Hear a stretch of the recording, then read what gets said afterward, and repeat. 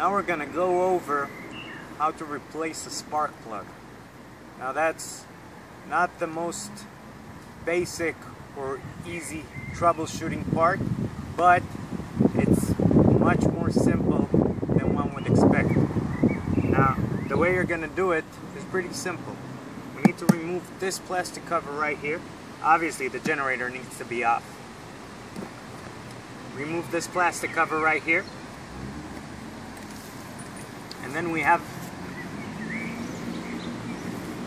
the connection between the ignition coil and the spark plug. So now we're going to remove it. It's very important not to do it when the just after you've run the engine because it's going to be warm. So you don't want to touch it. Um, so wait for at least 30 minutes, 45 minutes after you haven't been using it and then you can use it. Uh, then you can uh, come right here and replace the spark plug if, if need be.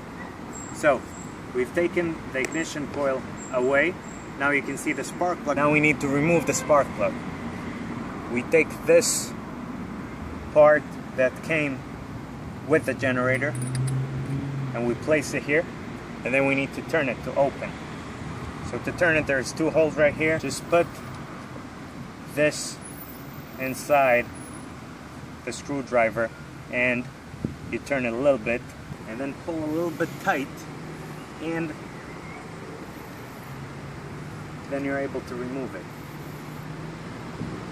So you unscrew the spark plug.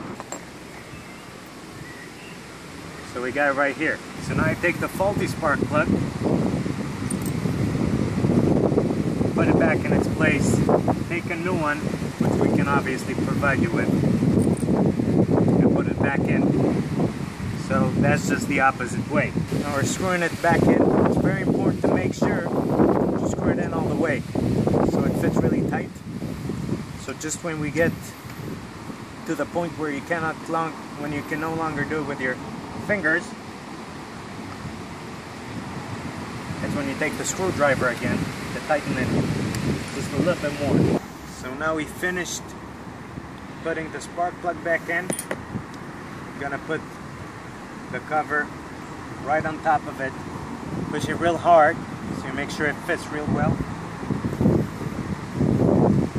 Put this cover, the plastic cover, and you're basically ready to run. I'll show you that it runs. For safety, once again, it's very important nothing's connected to any of the outlets when you start.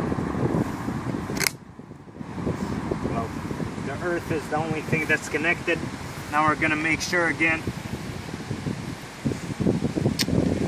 on on,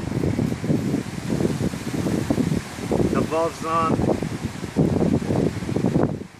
and the choke's on. Now we're gonna pull it, and as always, it's gonna start on the first pull.